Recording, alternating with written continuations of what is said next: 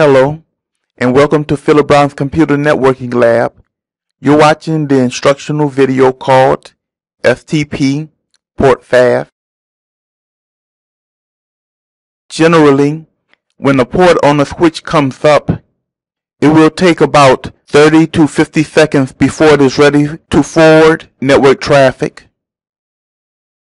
The port fast feature is enabled on the ports where the end users are connected so that it will bypass the listening and learning states.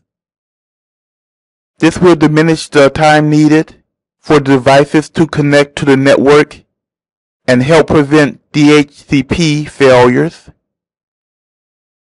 Ports enabled with the port fast feature do not expect to hear BPDUs.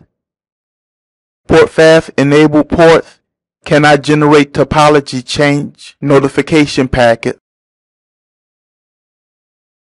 The spanning tree port fast command is used to configure the spanning tree port fast feature on the interface. Here we have two sets of networks. The top network has port fast disabled on its switch port interfaces, while the bottom has port fast enabled. This power cycles the switches and see how long it takes for the switch to reach the forwarding state.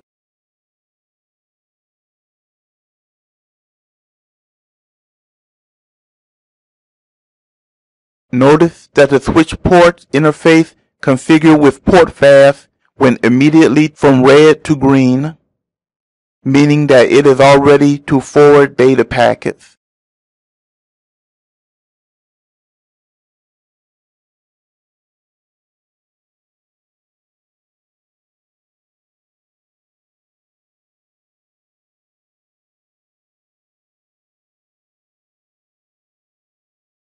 The top switch took about 30 seconds before it was ready to forward packets. If you know that certain ports on a switch will be used by end-use devices, port fast is a good way to get the device connected sooner.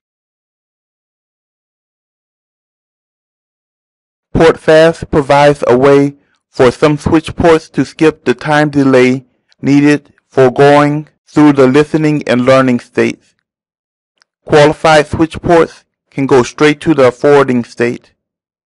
I hope this video was informative and I thank you for viewing.